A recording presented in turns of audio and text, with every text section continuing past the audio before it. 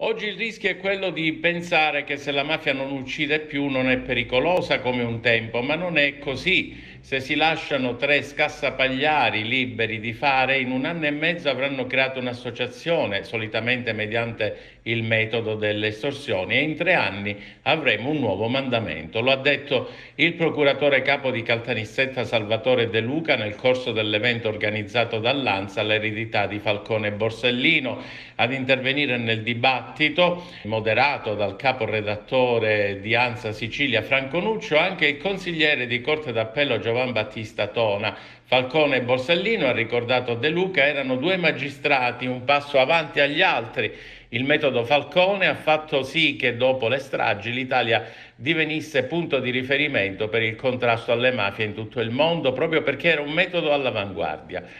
Io ero appena entrato in magistratura quando li conobbi e purtroppo poi, proprio per via delle stragi, non ho avuto più la fortuna e l'onore di lavorare con loro.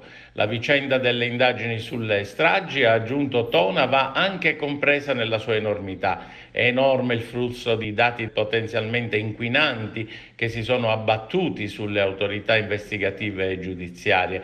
Al di là del depistaggio voluto subito, va tenuta presente l'oggettività complessa e difficoltà di gestire un flusso di suggestioni che hanno inondato la materia delle stragi e hanno inondato i fascicoli giudiziari.